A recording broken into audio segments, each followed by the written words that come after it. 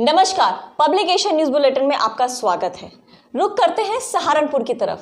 सहारनपुर में हमारे bureau chief Virendra Chaudhary और हमारे संवाददाता हेमंत अरोड़ा ने देवबंद के शुगर मिल के वाइस चेयरमैन दीनानाथ मिश्रा और अनिल त्यागी जी से की खास बातचीत। लॉकडाउन के दौरान कैसे कर रही है शुगर मिल काम? आइए देखते हैं। अभी हम देवबंद त्रिवेणी शुगर मिल के उस भाग में पहुँचे हैं, जहाँ गन्ने से रिलेटेड जितनी भी इंक्वायरीज हैं, या गन्ना जहाँ पर आता है, वहाँ की होती हमारे बीच में उपस्थित हैं जेएम के अनिल त्यागी जी। और इनसे मैं जानना चाहूँगा कि जो गन्ना आ रहा है फ़िलहाल वर्तमान पोजीशन में, जैसे लॉकडाउन चल रहा है तो गन्ने की जो अमाउंट है, जो गन्ना क्विंटल्स में आता था, पहले से ज़्यादा है या कम गन्ने की क्वांटिटी तो हमारी फैक्ट्री की क्रशिंग कैपेसिटी के अनुसार पूरी आ रही है। जी। क्योंकि हम जितना इंडेंट जारी करते हैं उसी इंडेंट के अनुसार जो है खासकार गन्ना सप्लाई करता है। जी। हमारी फैक्ट्री की क्रशिंग कैपेसिटी नब्बे हज़ार है और नब्बे हज़ार के अकॉर्डिंग ही हमारे यहाँ फैक्ट्री में गन्ना पहुँच रहा है। जी। तो गन्ने का जो आ, पहले जो जितना गन्ने का जो वो निकलता है आपका लिक्विड और उससे जो चीनी बनती है और वो चीनी के अकॉर्डिंग जो बाहर मार्केट में जाकर जो अमाउंट गन्ने के किसानों के खाते में आनी थी उसका अभी क्या चल रहा है? अमाउंट से रिलेटेड अभी क्या जो जो भी चीनी हम शुगर मिल के अंदर प्रोड्यूस करते हैं उस चीनी का एक प्रक्रिया है कि जितना हमारा 24 फोर आवर का प्रोडक्शन होता है जी। उसे हम संबंधित बैंक को प्लेस करते हैं। जी। और बैंक जो है हमें उसका 85 परसेंट जी। पेमेंट कर देता है हमारे खाते में भेज देता है। जैसे ही हमारे पास वो पंद्रह दिन का पैसा इकट्ठा होता है तो हम उसी के अनुसार हम एडवाइस जनरेट करके काश्तकारों के खाते में पैसा भेज देते हैं। अभी हमारी चीनी मिल द्वारा 25 फरवरी तक का भुगतान आज 25 तारीख का भुगतान संबंधित समिति समितियों में सभी में चेक पहुँच जाएँगे। और डीसीओ साहब ने मुझे आज ही अवगत कराया है कि डीएम साहब से बात हो चुकी है कि काश्तकारों का गन्ने का भुगतान। बैंक में जमा होने के लिए स्पेशली बैंक खोले जाएँगे। कि ओनली चेक डिपॉजिट करने के लिए पब्लिक के लिए नहीं कि जिससे कि काशकारों के खाते में पैसा पैसा पहुँच पहुँच जाए। तो मेरे बीच अभी हमारे पास और भी अधिकारी हैं यहाँ पर शुगर मिल के। सर मैं जानना चाहूँगा क्या नाम है आपका? प्रेमचंद चौरसिया। आप यहाँ पर किस पोस्ट पर हैं? हम यहाँ पर सचिव गन्ना समिति देवबंद के पास अच्छा सर मैं जानना चाहूँगा जैसे आज मजदूर दिवस भी है तो शुगर मिल से लेकर जो हमारे श्रमिक काम करते हैं कर्मचारी काम करते हैं उनको कोरोना से रिलेटेड जानकारी उपलब्ध कराई जाती है और क्या उपाय उनको बताए जा रहे हैं? जी हाँ उनको जो है एक सोशल डिस्टेंसिंग मेंटेन करने की हमेशा उनको सलाह दी जाती है। जी। सैनिटाइजर यूज़ करने की सलाह दी जाती है। और जहाँ पे भी किसान इकट्ठा होते हैं वहाँ पे सैनिटाइजर की ऑलरेडी पहले से व्यवस्था होती है। उनको सैनिटाइज करने के बाद ही हम उनका कोई भी कार्य करते हैं। जी। सर जैसे कि लॉकडाउन चल रहा है तीन मई तक लेकिन फिर भी अभी ये चाह कि कोई ग्रीन जोन है कुछ ऑरेंज है और कुछ रेड जोन में है तो शायद हमारा देवबंद हॉटस्पॉट में भी है और रेड जोन में है। अगर लॉकडाउन बढ़ता है तो क्या आप लोग समर्थन करेंगे लॉकडाउन का? आप लोग समर्थन करेंगे लॉकडाउन का अगर बढ़ता है? हाँ हाँ लॉकडाउन का तो समर्थन करेंगे ही। जी। हाँ। तो आप देख सकते हैं हमारी बात हुई है कि लॉकडाउन का भी समर्थन करेंगे और गन्ना से रिलेटेड जो पेमेंट है वो भी किसानों के खातों में भिजवाने के लिए पूरे प्रयत्न किए जा रहे हैं। चेक प्रोवाइड कराए जा रहे हैं और बैंक को भी स्पेशल टाइम दिया जा रहा है अधिकारियों के अनुसार कि वो चेक वहाँ जमा हो सके और पेमेंट गन्ने में जा सके। अभी पब्लिक एशिया की टीम है देवंत शुगर मिल में। यहाँ के उपाध्यक्ष हैं दीनानाथ मिश्र जी। और अब हम इनसे बातचीत करेंगे लॉकडाउन को लेकर कि कैसे काम चल रहा है लॉकडाउन को आ, शुगर मिल कैसे कार्य कर रही है किसानों को लेकर या यहाँ पर जो गन्ना आ रहा है पहले कितने किसान आते थे और अब क्या स्थिति है लॉकडाउन को लेकर?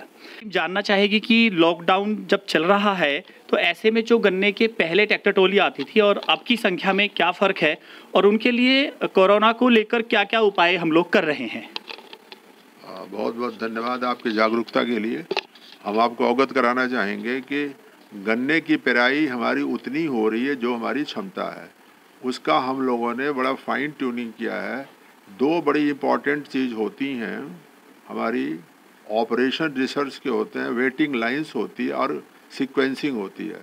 हम लोग गन्ने का इंडेंट इस तरह कर रहे हैं, बड़ा फाइन ट्यून कर रहे हैं कि हमारे वहाँ गन्ने की पेराई में कोई भी वो न हो का, व्यवधान न हो, और हमारे किसानों की जो डिस्टेंसिंग है, हर किसान को आग्रह किया गया है कि वो अपने बुग्गी पे बैठे रहें, अपने ट्रॉली पे बैठे रहें, अपने ट्रॉला पे बैठे रहें। और जब गन्ने की पेराई करने के लिए मिल के अंदर जाएँ तो अपने बुग्गी से जाएँ, केवल वहाँ पर जब अनलोड करें, तभी उतरें। तो सोशल डिस्टेंसिंग तो ऑटोमेटिकली हमारी अपने आप हो जा रही है। जो। मानक उससे कई गुना ज़्यादा है क्योंकि एक बुग्गी में बुग्गी की लंबाई होती है गन्ने की लंबाई करीब पंद्रह सोलह फीट होती है और एक झोटा होता है जो बुग्गी को खींचता है उसकी लंबाई कम से कम होती है पाँच सात फीट आठ फीट होती है। इसलिए हमारा किसान जहाँ बैठा रहता है उसके पीछे जो है कम से कम बीस फीट की दूरी रहती है दूसरे किसान की। तो सोशल डिस्टेंस पहली बात करते हैं कि चूँकि हमारा किसान पाचियों से पहले गन्ना ले आता था अब उनकी व्हाट्स हम लोग मैसेज भेज देते हैं और वो मैसेज को दिखा करके किसी को छूना नहीं है। इसके बावजूद भी उनके सैनिटाइजेशन के लिए हम लोग साबुन रखे हुए हैं डिटॉल सोप रखे हुए हैं और सैनिटाइजर रखे हैं। पहले उनका हाथ धुला देते हैं और व्यवस्थित रूप से उनका फिर उनको सैनिटाइज करते हैं हाथ हाथ को सैनिटाइज कर देते हैं और तब किसान को अंदर जाने देते हैं। अंदर जाने के बाद बहुत कम समय में गन्ना जो है वो अनलोड कर देते हैं अनलोड करने के बाद वो चले जाते हैं। और हर किसान को ये रिक्वेस्ट किया गया है कि कृपया आप लोग अपने बुग्गिस न उतरें और हाथ न मिलावें और आपस की दूरी जो है दूरी बना के रखें और ये केवल ऐसी एपिडेमिक है बहुत हाई है। उसको तो देखने में प्रभावित नहीं कर पाएगा। लेकिन यदि कोई लो इम्यूनिटी का है तो उस आदमी को संस्कृत ये सब चीज़ें एजुकेट करते हैं।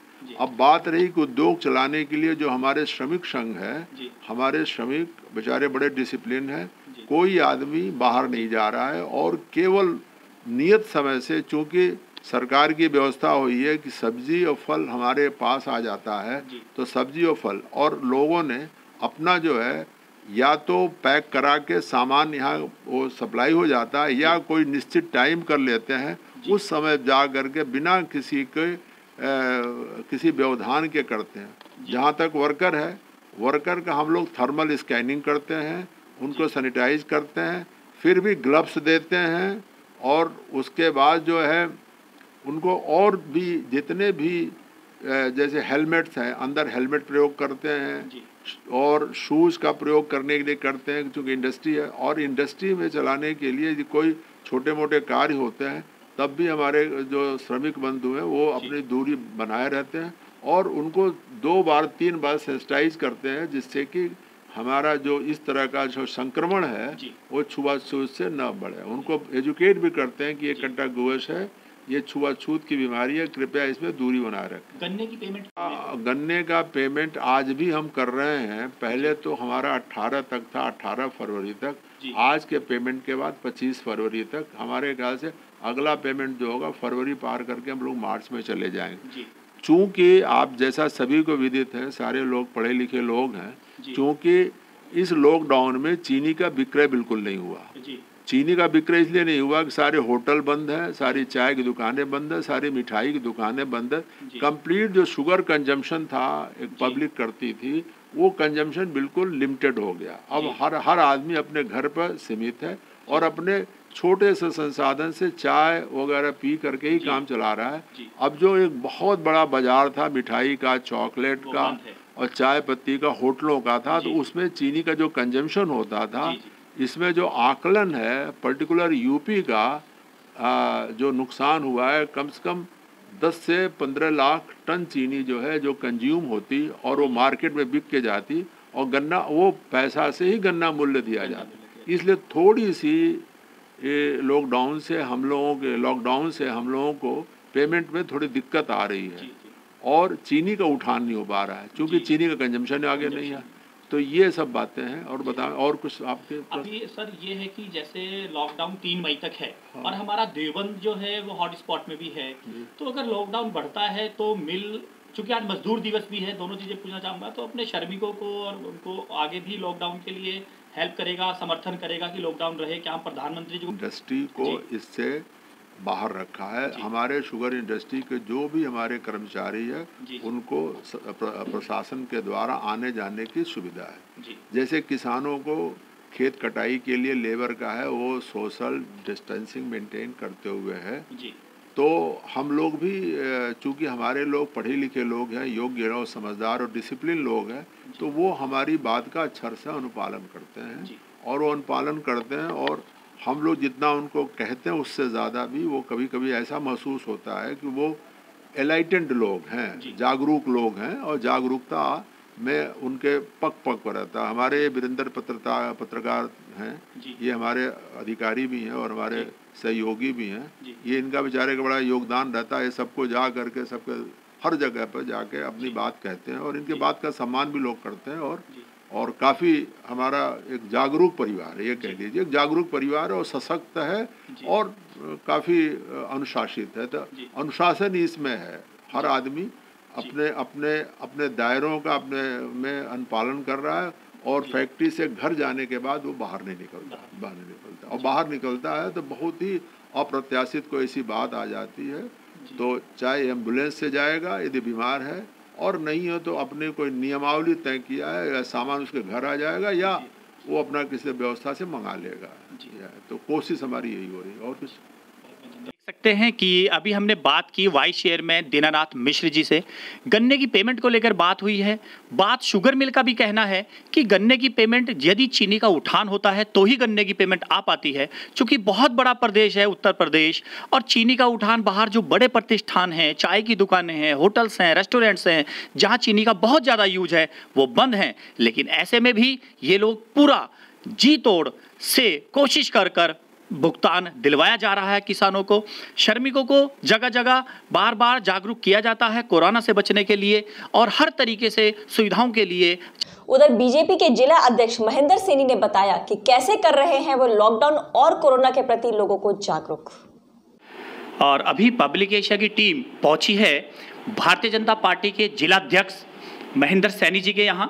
यहाँ इनसे बात करेंगे हम लॉकडाउन को लेकर कि क्या लॉकडाउन को लेकर अध्यक्ष जी, देवबंद क्षेत्र में या आसपास के क्षेत्रों में, अपने क्षेत्रों में, आप कैसे लोगों को जागरूक कर रहे हैं? आपके कार्यकर्ता किस प्रकार अपने अपने क्षेत्रों में लगे हुए हैं? आप चाहें तो मास्क नीचे।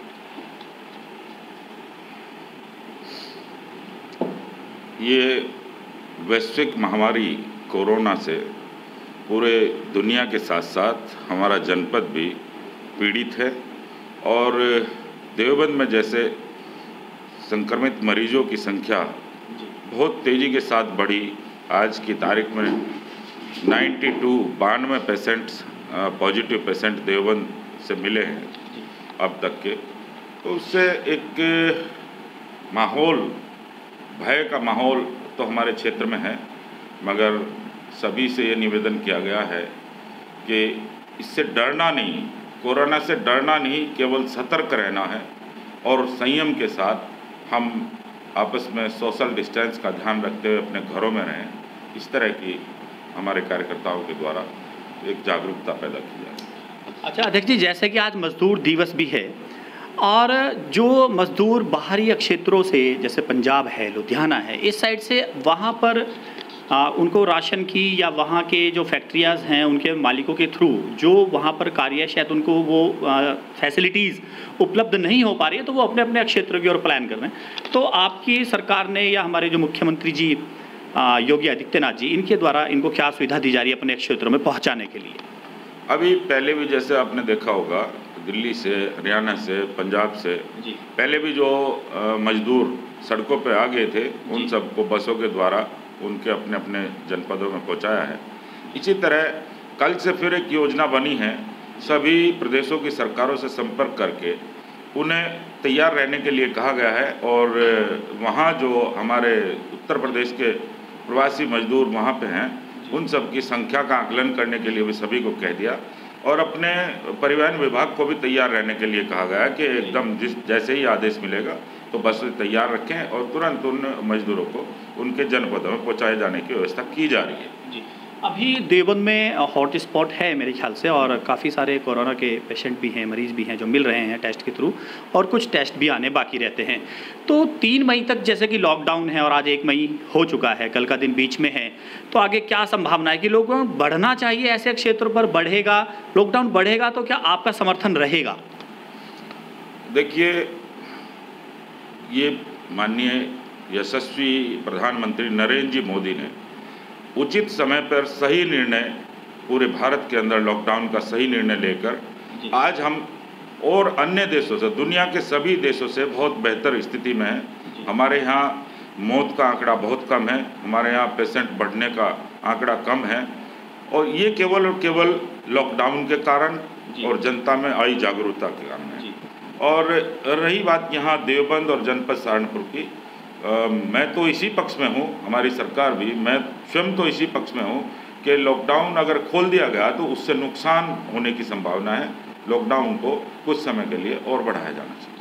अभी जो वर्तमान में अप्रैल जैसे चला गया है एक बहुत बड़ा तबका रहता है स्कूली छात्र छात्राओं का। अभी स्कूल की तरफ़ से ऑनलाइन क्लासेस चल रही हैं। ऑनलाइन क्लासेस को लेकर भी कुछ पेरेंट्स फेवर में होते हैं और कुछ अनफेवर में होते हैं।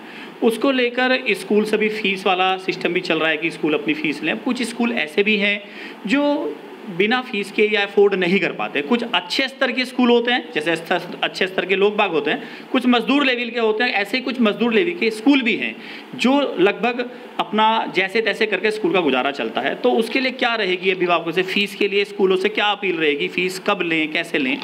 अभी तक तो यही रहा है। आज भी अपने समाचार पत्रों में देखा होगा हमारे जो इंस्पेक्टर ऑफ़ स्कूल या पी एस हैं रामेन जी जी। उन्होंने भी एक अपील की है सभी स्कूलों से कि हम जैसे कुछ स्कूलों ने तीन महीने की फ़ीस पब्लिक के लिए माफ़ कर दी। उन्होंने सभी स्कूलों से अपील की है कि सभी इस तीन महीने की फ़ीस को माफ़ कर दें। और हमारे जिलाधिकारी महोदय ने भी ये आदेश जारी किया है कि तीन महीने की फ़ीस जैसे कि एडवांस में लेते थे स्कूल वो एडवांस में लेने के लिए बिल्कुल सख्ती से मना कर दिया जुलाई से बोल दिया। हाँ वो उसे जुलाई से बोल दिया गया उसे बाद में एडजस्ट करने के लिए बोल दिया गया। और हम संगठन स्तर पर पार्टी स्तर पर हम सरकार से भी निवेदन करेंगे कि जो कमज़ोर स्कूल हैं जो फ़ीस लिए बिना काम नहीं चल सकता उनकी सरकार मदद करे और सभी बच्चों की तीन महीने की फ़ीस माफ़ करे इसके लिए हम सरकार से भी निवेदन करें। अभी लॉकडाउन को लेकर देवबंदा क्षेत्र में आपके अपने कार्यकर्ताओं से और जनप्रतिनिधि करेंगे लॉकडाउन को और कोरोना से बचने को। मेरा भारतीय जनता पार्टी के प्रत्येक कार्यकर्ता से केवल ये आह्वान है कि वो जिस बूथ पर वो स्वयं रहते हैं केवल उस बूथ की ज़िम्मेदारी ले लें उस बूथ पर कोई भूखा ना रहे वहीं उसी बूथ के संपन्न लोगों से सहयोग लेकर जो कमज़ोर व्यक्ति हैं या जो भूखा लगता है कि जिनके पास राशन नहीं है उन्हें राशन वितरित कर दें और सोशल डिस्टेंस का ध्यान रखें। कहीं भी इधर उधर घूमने की बजाय केवल और केवल हम हमारे कार्यकर्ता केवल अपने अपने बूथ का ज़िम्मेदारी लेकर काम करें। मुझे अभी जिलाध्यक्ष साहब एक लास्ट क्वेश्चन है कि जैसे डॉक्टर्स आज देवदूत बने हुए हैं पुलिस टीम सफ़ाई कर्मी और मीडिया भी पूरी तरीके से जो खबरें हैं वो अंदर की जगह पूरी अ, लोगों को भेजकर जागरूक किया जा रहा है लेकिन फिर भी कुछ कहीं जगह पर पत्थरबाजी हो रही है कहीं पर कुछ हो रहा है इनको नुकसान पहुँचाने के लिए तो क्या अपील करने चाहेंगे जो लोग पत्थरबाजी कर रहे हैं उनसे? इस वैश्विक महामारी के समय पर डॉक्टर्स सबसे पहले मोर्चे पे उससे संघर्ष कर रहे हैं। जी। उनके साथ मारपीट करना या अपमानित करना ये बहुत बड़ा अपराध है। जी। और जिसकी बहुत पहले से ज़रूरत भी महसूस की जाती रही वो माननीय नरेंद्र जी मोदी ने उसे कानून का रूप दिया है। उसके लिए पूरी सरकार को माननीय मोदी जी को अ, मैं डॉक्टर भी हूँ डॉक्टर होने की हैसियत से भी और पूरे देश की ओर से उसके लिए साधुवाद देना चाहता हूँ। दूसरी बात हमारे उसके बाद हमारे पुलिस प्रशासन है प्रशासनिक अधिकारी हैं और पत्रकार बंधु हैं छायाकार मित्र हैं वो सब लोग इस वैश्विक महामारी के समय पर इसकी बारीक से बारीक जानकारी को जनता तक पहुँचा रहे हैं और जागरूकता पैदा कर रहे हैं। अफवाहों से बचाने के लिए अ, प्रेस का भी एक बहुत अहम ज़िम्मेदारी है उसे भी बहुत अच्छे तरीके से निभा रहे हैं। उन सबका हमें बहुत सम्मान करना चाहिए। कोई भी व्यक्ति उनके प्रति असम्मान की भावना ना रखे और वो एक अपराध माना जाए जो अगर कोई कहीं अपमानित करता है या मारपीट करता है। महेंद्र सैनी जी से उन्होंने लॉकडाउन को लेकर या अपने कार्यकर्ताओं से अपील की कि कैसे अपने अपने बूथ पर या जहाँ के वो जनप्रतिनिधि हैं, वहाँ पर जाकर अपने अपने लोगों को जागरूक करें कोरोना से बचने के लिए लॉकडाउन का पूर्णतः समर्थन करें। स्कूलों से रिलेटेड उन्होंने कहा कि वो सरकार से अपील करेंगे, सरकार से दरखास्त करेंगे, जो स्कूल कमज़ोर हैं उनका फ़ीस का सिस्टम या तो सरकार से उन तीन महीने की फ़ीस दी जाए और जो अफोर्ड कर सकते हैं स्कूल, उनसे अपील की जाए कि वो फ़ीस माफ़ करें। और वो लोग जो पत्थरबाजी कर रहे हैं या मारपीट कर रहे हैं देवदूतों से, उनके खिलाफ भी सख्त कदम होना चाहिए। पब्लिक एशिया से हेमंत अरोड़ा। कोरोना से कैसे करें बचाव? देखिए इस बच्ची के संदेश में।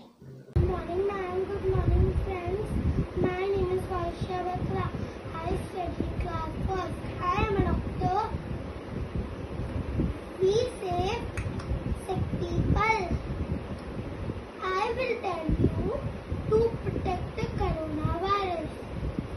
Wash your hands. Use sanitizer. Use mask. and stay home. नन्ही सी खुशी भोली सी हँसी फूलों की बाहें भूल गए जब देश ने दी बाज हम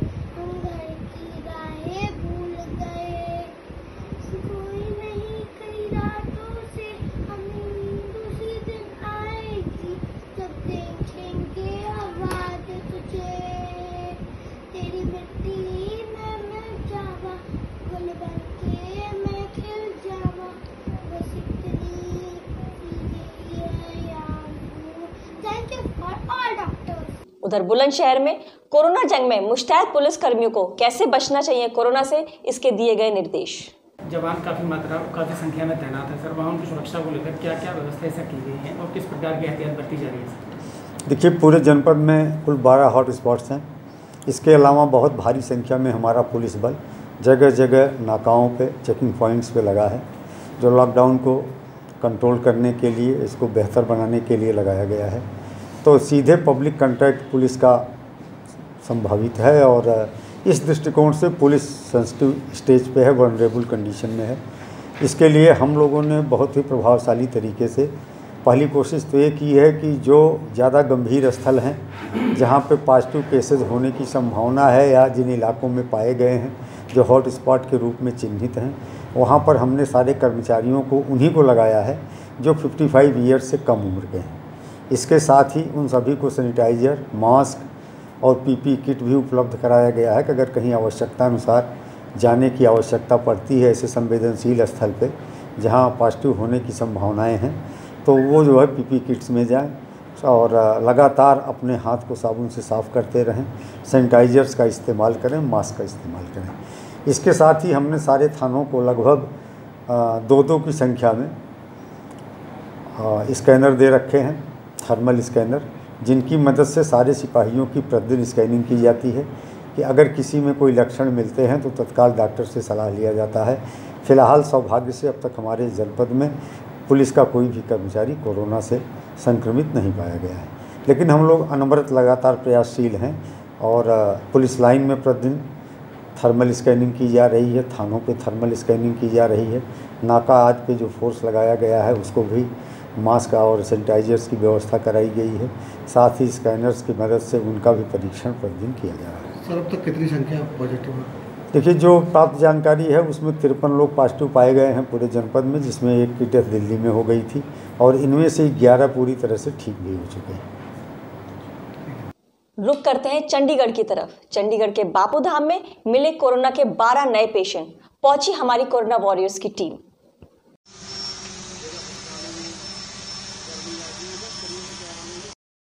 वहीं चंडीगढ़ की साई सेवा समिति ने लगाया रक्त शिविर। चंडीगढ़ में श्री साई सेवा सीमित की ओर से लगाए गए रक्तदान शिविर में चंडीगढ़ पुलिस के जवान व अन्य लोग रक्त करते हुए नज़र आए। इस मौके पर चंडीगढ़ के मेयर रजवाला मलिक, एसएसपी नीलांबरी, जगदाले और भी अन्य लोग भी रक्तदान करते हुए नज़र आए।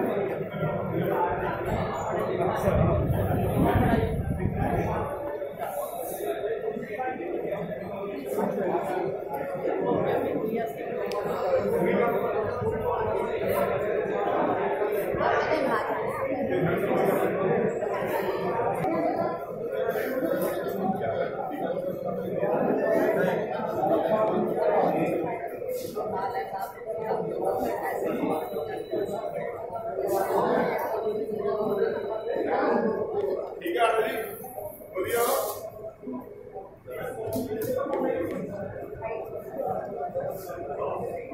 सर दो मिनट बैठ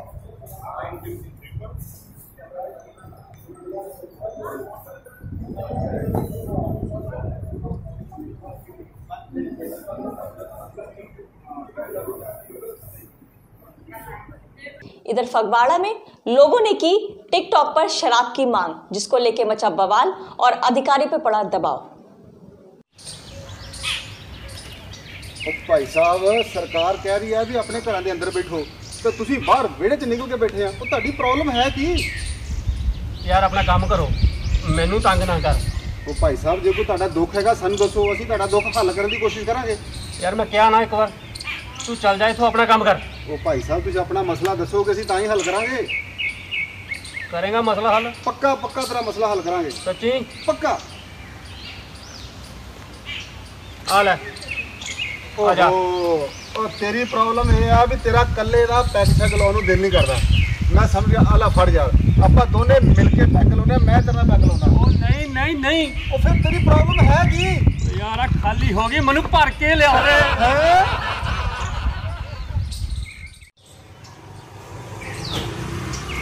ਭਾਈ ਸਾਹਿਬ ਹੁਣ ਦੁੱਖ ਦੇ ਦਿਨ ਖਤਮ ਹੋ ਗਏ। ਪੰਜਾਬ ਸਰਕਾਰ ਨੇ ਚਿੱਠੀ ਲਿਖ ਕੇ ਤੇ ਸੈਂਟਰ ਸਰਕਾਰ ਨੂੰ ਭੇਜਤੀ ਆ। ਸੈਂਟਰ ਸਰਕਾਰ ਨੇ ਮੋਹਰ ਲਾਉਣੀ ਆ ਤੇ ਮਨਜ਼ੂਰੀ ਦੇ ਦੇਣੀ ਆ ਤੇ ਪੰਜਾਬ 'ਚ ਸ਼ਰਾਬ ਦੀ ਖੁੱਲ ਹੋ ਜਾਣੀ ਆ। ਦੁੱਖ ਭਰੇ ਦਿਨ ਤੇਰੇ ਭਈਆ ਸਭ ਸੁਖ ਆਇਓ ਰੇ। ਰੰਗ ਜੀਵਨ ਮੇ ਨਿਆ ਲਾਇਓ ਰੇ। ਹੋਏ ਹੋਏ ਦੁੱਖ ਭਰੇ ਦਿਨ ਵੀ ਤੇਰੇ ਭਈਆ। ਵੀ ਤੇਰੇ ਭਈਆ ਅਗਲੀ ਗੱਲ ਸੁਣੀ ਹੈ ਉਹ ਕਿਹੜੀ? ਸੈਂਟਰ ਸਰਕਾਰ ਨੇ ਠੇਕਿਆਂ ਦੀ ਮਨਜ਼ੂਰੀ ਰੱਦ ਕਰਤੀ। ਹੈ?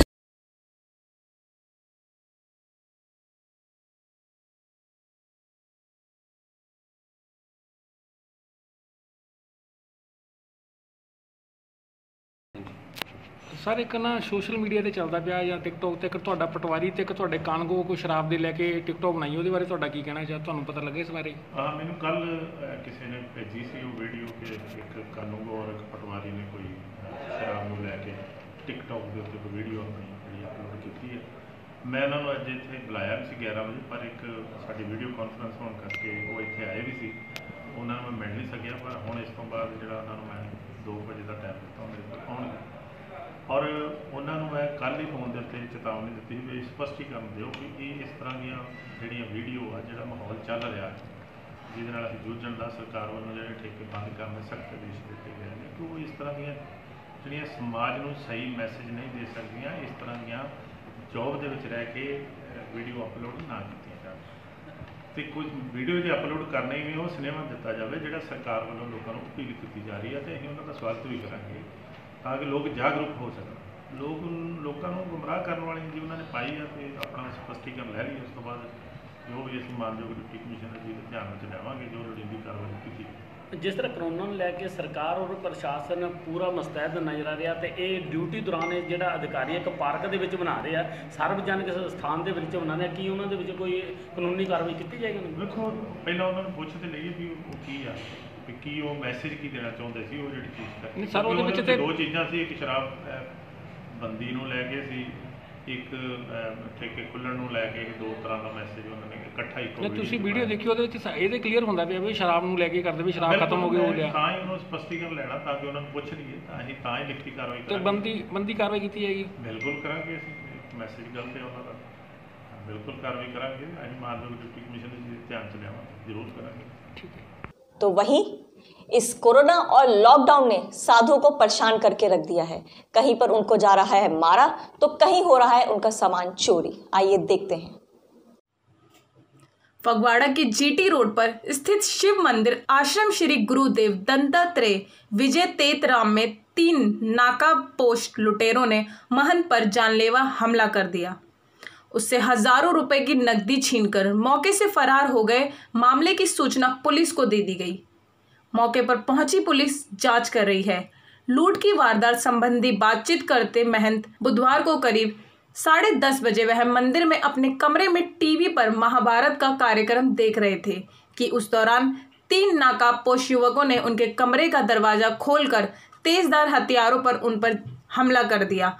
महंत ने बताया कि उक्त लुटेरों ने हथियारों के बल से उनसे करीब बीस हज़ार पाँच सौ रुपये की नकदी छीन ली, जो उन्होंने मंदिर में चल रही उसारी के लिए, लेबर के लिए रखी थी।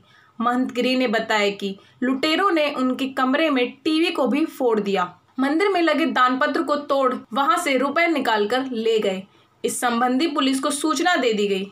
मौके पर पहुंची थाना सिटी पुलिस जांच करी लुटेरों द्वारा हथियारों से किए गए हमले में महंत रामेश्वर आनंद गिरी के चोटें भी लगी हैं दूसरी चोरी होशियारपुर रोड पर एक मीट की दुकान को निशाना बनाकर कीमती सामान पर हाथ साफ कर ले गए दोनों मामलों की पुलिस जांच कर रही है ਸਰ ਇੱਕ ਮੰਦਿਰ ਦੇ ਲਾਗੇ ਇੱਕ ਮੰਦਿਰ ਦੇ ਵਿੱਚ ਜਿਹੜਾ ਹੋਇਆ ਰਾਤੀ ਕੱਲ ਸ਼ਾਮੀ ਰਾਤੀ 11 ਕੁ ਵਜੇ ਇੱਕ ਮੈਸੇਜ ਮਿਲਿਆ ਸੀ ਵੀ ਜਿਹੜਾ ਆਸ਼ਰਮ ਹੈਗਾ ਸ਼ੁਕਰਮਲ ਚੌਂਕ ਥੱਲੇ, ਉੱਥੇ ਇੱਕ ਸਵਾਮੀ ਰਹਿੰਦੇ ਨੇ ਗਿਰੀ ਜੀ ਤੇ ਉੱਥੋਂ ਉਹਦੇ ਤੋਂ ਕਰੀਬ 10500 ਰੁਪਇਆ ਖੋ ਕੇ ਲੈ ਗਿਆ।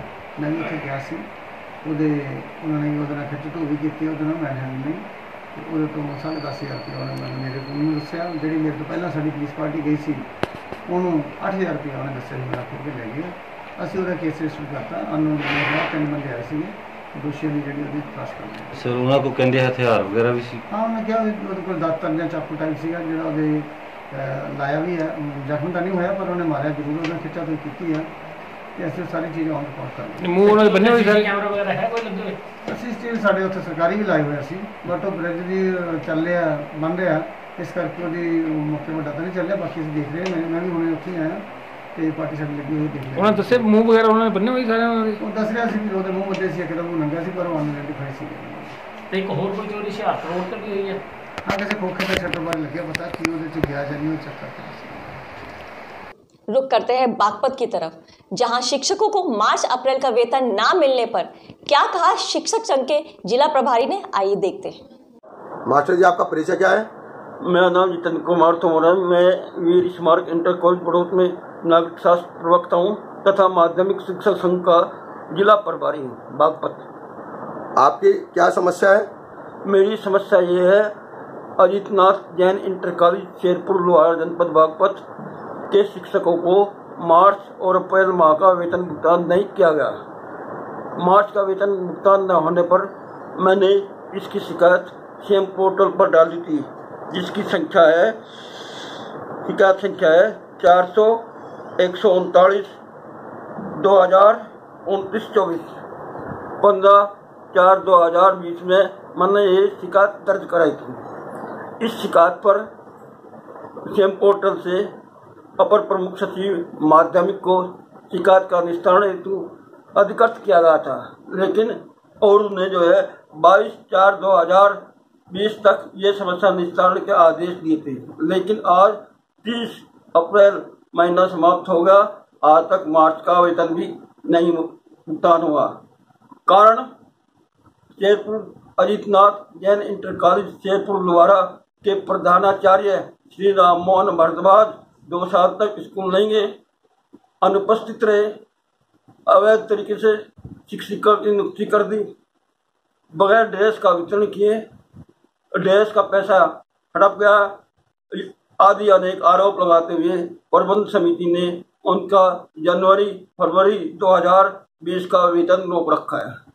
इस हेतु इस प्रकरण की जाँच के लिए डीआई मुद्दे द्वारा तीन सदस्यों की समिति बनाई गई थी। एडीएम के माध्यम से भी नायब तहसीलदार बड़ौद को इस जा, इसकी जाँच के लिए अधिकृत किया था। दोनों समितियों द्वारा जाँच की गई।